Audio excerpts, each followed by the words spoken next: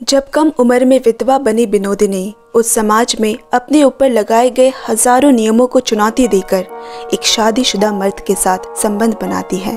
क्या ये नियति है या बिनोदिनी का प्रतिशोध? Hello everyone welcome back to my channel movie stripe दोस्तों, आज की पेशकश में है बंगाली ड्रामा फ़िल्म चोखेर बाली। मूवी के डायरेक्टर है ऋतुपर्णा घोष और आईएमडीबी रेटिंग 7.1 है। आपकी तरह हमें भी कहानियाँ सुनना पसंद है।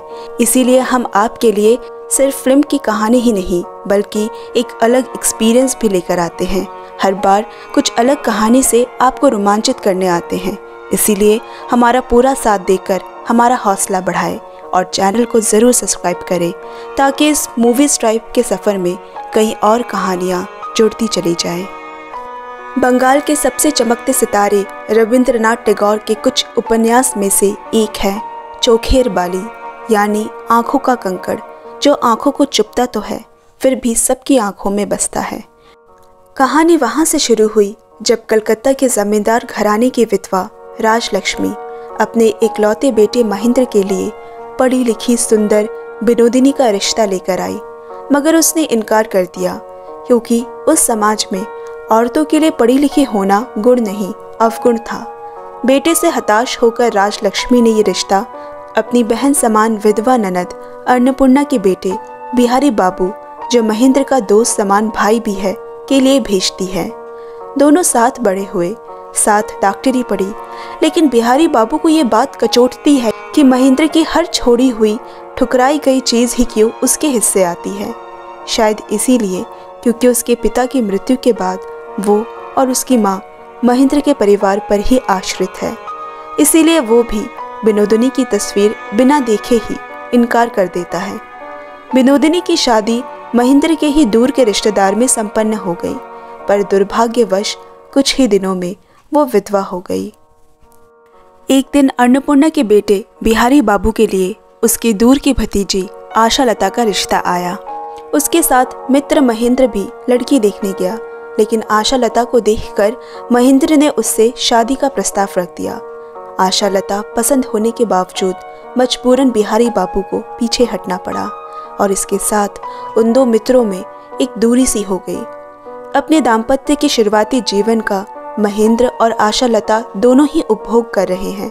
सास राजलक्ष्मी जब देखती है कि काम काज से महेंद्र का मन बिल्कुल हट चुका है तब वो नाराज़ होकर कुछ दिनों के लिए अपने मायके की तरफ़ चली गई। वहाँ उसकी मुलाकात विनोदिनी से हुई, जिसको वो अपनी बहू बनाना चाहती थी।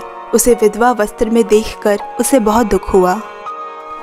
विनोदिनी भी पूरे मन से उनकी सेवा करने लगी और उनका दिल जीत लिया। फिर यूँ हुआ कि एक दिन बिहारी बाबू के नाम लिखा महेंद्र का एक खत बिनोदिनी के हाथ लगा, जो राजलक्ष्मी को डाकिया, गलती से दे गया था। जिसमें महेंद्र ने जानबूझकर बिहारी को जलाने के लिए अपने और आशा लता के प्रेम संबंध की बातें लिखी है। उसकी उंगलियों का स्पर्श बहुत मुलायम है। अपने गीले बाल जब वो झटकती है तो पानी की बूंद मानो मोतियों की तरह बिखर रहे हो। उसकी आँखों की शरारत किसी मासूम बच्चे की तरह है।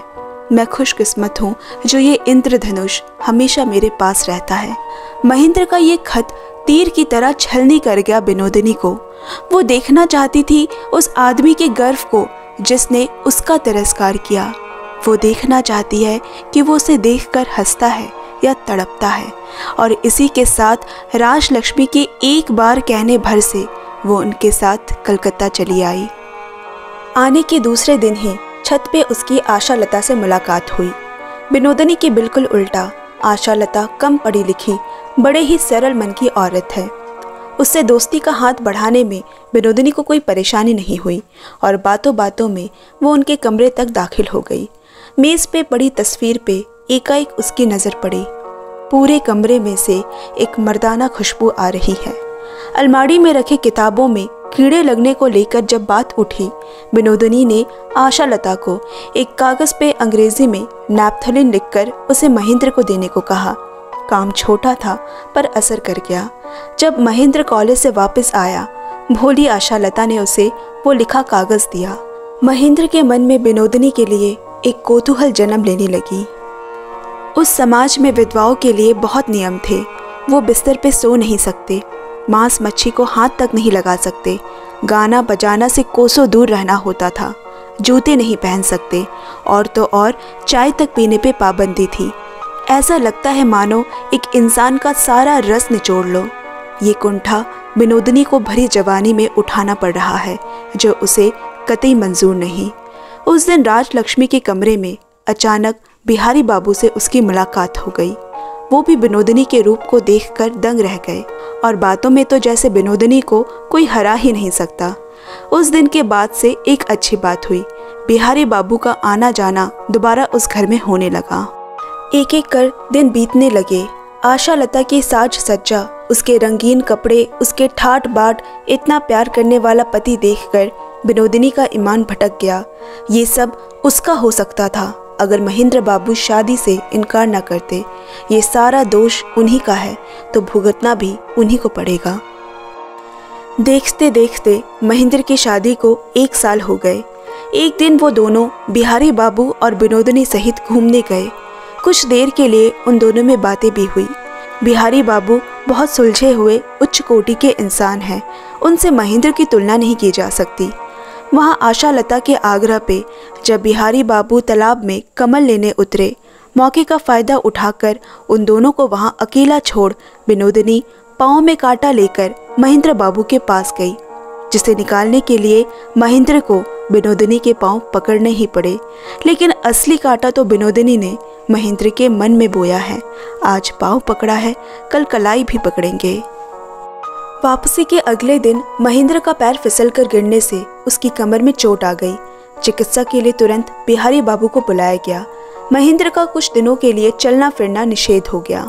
ऐसे में उसने बिहारी बाबू को जलाने के लिए कहा, सोच रहा हूँ, इसी मौके पे आशा लता और विनोदिनी को साथ लेकर कहीं घूम आओ जिसे सुनकर बिहारी बाबू को अजीब लगा। उसने बोला, विनोदिनी को क्यों ले जाना चाहते हो? तुम जो करना चाह रहे हो कभी सोचा है आशा लता पर क्या गुजरेगी? महेंद्र ने जवाब दिया, क्योंकि मेरे पीछे तुम्हारे भरोसे मैं उसे छोड़कर नहीं जा सकता। और वैसे भी, जिस तरह तुम आशा लता के कहने पे गले तक पानी में उतर गए, विनोदनी बोलेगी तो पता नहीं क्या ही कर बैठोगे। बचपन से ही महेंद्र को बिहारी बाबू से हर चीज़ बेहतर चाहिए। बिहारी बाबू दुखी मन वहाँ से उठकर चले गए। बिहारी बाबू के लिए आए एक और रिश्ते की खबर सुनकर अचानक ही रसोई घर में काम कर रही विनोदिनी की उंगली कट गई। इससे पहले कि बिहारी बाबू आते, ये मौका महेंद्र अपने हाथ से जाने नहीं देगा। उस छोटे से खरोच के लिए वो उसी कमर में दर्द लिए विनोदिनी को उसी वक्त अस्पताल ले गया, जबकि विनोदिनी को भी मालूम है पानी किस तरफ़ बह रहा है। उनके निकलने की खबर लगते आज पहली बार राजलक्ष्मी को थोड़ा अजीब लगा। उसने आशा लता को आगाह किया कि तुम अपने पति को समय रहते संभाल लो, पर बेचारी आशा लता विनोदिनी के दाव के सामने कहाँ टिकेगी? शाम को ही बिहारी बाबू का विनोदिनी के लिए छोड़ा खत उसे दराज से मिला, जिसमें महेंद्र की मंशा जानकर उसने विनोदिनी से अपना प्रेम आग्रह जताया और उसे महेंद्र का घर छोड़कर अपने पास आने का आमंत्रण दिया। लेकिन बहुत देर हो चुकी थी। बिनोदिनी ईर्षा में अंधी हो गई थी और अपनी ओर बढ़ते महेंद्र को बिनोदिनी रोक नहीं सकी। खतों के ज़रिए मिलने की जगह और समय ठीक होने लगे। रूहानी ना सही, लेकिन ये जिस्मानी सुख किसी सांप की बीन की तरह बिनोदिनी को नचा रहा है। लेकिन बिनोदिनी सर झुका के रहने वालों में से नहीं है। जल्द ही अब बिनोदिनी को समाज में मान सम्मान चाहिए महेंद्र से, जो वो उसे देने में असक्षम है। एक दिन विनोदिनी के बक्से में कुछ खोजते वक्त आशा लता को महेंद्र के लिखे खत मिले, जिन्हें पढ़कर उसे एहसास हुआ, उसने आस्तीन के सांप को पाल रखा था और डसे जाने का पता तक नहीं चला। वो बेवकूफ़ सही, पर बेशरम नहीं थी। सास राजलक्ष्मी को सब बताकर अन्नपूर्णा बुआ के साथ हमेशा के लिए काशी चली गई। विनोदिनी हर अपमान सहकर भी वहाँ रही कि शायद महेंद्र उसे वो दर्जा दे पाए। जिसकी वो खुद को अधिकारी समझती है। पर ऐसा नहीं हुआ। एक विधवा से संबंध तो बनाए जा सकते थे, पर शादी नहीं की जाती। यहाँ राजलक्ष्मी ने भी इज़्ज़त पकड़ी, या तो इस घर में बिनोदनी रहेगी, या मैं। विनोदनी का सब्र जवाब दे गया। गाड़ी बुलवा कर वो खुद ही वहाँ से निकल गई, लेकिन अपने घर के बजाय वो बिहारी बाबू के पास गई। इस उम्मीद में कि शायद वो उसे रहने की जगह दे सके, पर ऐसा नहीं हुआ। बिहारी बाबू का इंतज़ार ख़त्म तो हुआ, लेकिन फिर वही बात आकर ठहर गई। वो महेंद्र की उतरन थी, उसका जूठा, जिसका गले से उतर पाना अब बिहारी बाबू के बस में नहीं। दुखी होकर विनोदनी अपने गाँव, अपनी कुटिया लौट आई। एक बार के लिए उसे लगा भी कि ये जीवन पूरी तरह व्यर्थ हो चुका है। ना ही सम्मान मिला, ना प्यार। क्यों ना इसे खुद ही ख़त्म कर दूँ। फिर कुछ ही दिनों में उसे ढूंढता हुआ महेंद्र वहाँ आया। उसने कहा, मैं सब तुम्हारे लिए छोड़कर आ गया हूँ बिनोदिनी। जवाब में विनोदिनी ने कहा, तुमने नहीं छोड़ा। आशा लता ने तुम्हें छोड़ा है। तब जाकर तुम यहाँ आए हो। बिनोदिनी को महेंद्र से कभी प्रेम नहीं था। पर हाँ वो समाज में उसके ज़रिए सम्मान ज़रूर चाहती थी। वो उसे लेने तो आया, पर सम्मान के साथ नहीं, लोगों से छुप कर। आज महेंद्र को बिहारी के सामने अपनी हार स्वीकार करनी पड़ी।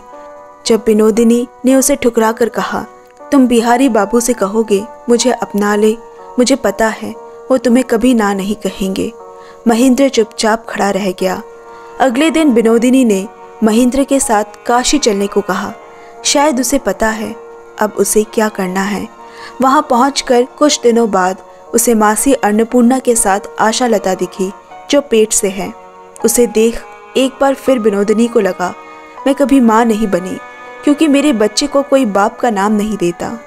अपनी तकदीर से बगावत में विनोदिनी इतनी दूर निकल गई कि उसे पता ही नहीं चला कब उसका साहस दुस्साहस में बदल गया। पर फिर भी वो अपनी तकदीर से हर बार हारी है। अपने दुस्साहस का प्रायश्चित के लिए ही शायद वो काशी आई है कि एक बार के लिए वो आशा लता को उसका महेंद्र लौटा सके। एक सुबह उसी घाट पे बिहारी बाबू आए। महेंद्र की माँ चल बसी थी। वही खबर आशा लता और अपनी माँ को पहुँचाने आया है। महेंद्र को ये खबर मिलते ही वो आशा लता को लेकर वापस चला गया। जब बिहारी बाबू को पता चला, अब महेंद्र और विनोदिनी सच में साथ नहीं हैं। उसने विनोदिनी को अपनाना चाहा, उससे शादी का वादा किया, पर अगले दिन उसे वहाँ विनोदिनी नहीं मिली। यही फ़र्क है ज़िद और प्यार में। महेंद्र उसकी ज़िद थी, लेकिन बिहारी बाबू उसका असली प्रेम उस समय विधवा विवाह पाप था। विनोदिनी बिहारी बाबू से इतना ही प्यार और सम्मान करती थी कि विधवा विवाह का कलंक वो उनके सर पे नहीं लगा सकी। उसके लिए ये शादी का प्रस्ताव ही बहुत सम्मानजनक बात है। बहुत दिनों बाद विनोदिनी का खत आशा लता के नाम आया। उसमें लिखा था कि बाहर से हम दोनों जितने भी अलग क्यों ना थे, पर हमारे अंदर एक बात एक समान थी, एक सुखी घर की इच्छा। जो हर औरत का अधिकार है, पर मुझे नहीं मिला। मैंने तुमसे ईर्षा नहीं की। तुम्हारे पास जो सब था, उससे ईर्षा थी। कभी सच में सहेली माना हो तो एक अंतिम बार मुझे माफ़ कर देना। बिहारी बाबू ने विनोदिनी को हर जगह ढूंढा। आशा लता के हाथों मित्रता खोई, महेंद्र के हाथों लज्जा और बिहारी बाबू के हाथों प्रेम खोकर अब विनोदिनी किसी को कहाँ मिलेगी? वो उस बोझिल हवा की तरह है जिसका भारीपन महसूस तो होता है, पर नज़र नहीं आता। इसी के साथ ये कहानी भी ख़त्म हुई। दोस्तों, आज की एक्सप्लेनेशन आपको कैसी लगी? कमेंट में ज़रूर शेयर करें और चैनल को भी पक्का सब्सक्राइब कर ले। आपसे जल्द मिलते हैं अगले वीडियो में। Bye love you and take care friends